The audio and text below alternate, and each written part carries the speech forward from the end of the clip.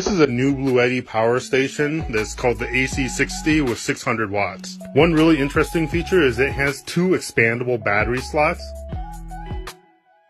And then you've got DC outputs here. This is USB-C up to 100 watts. USB-A is here. This is the cigarette lighter. These are the charge inputs. So you can just plug this into the wall and get this charged up. I've been using it mostly to power my drill and impact driver and power the lights in my shed.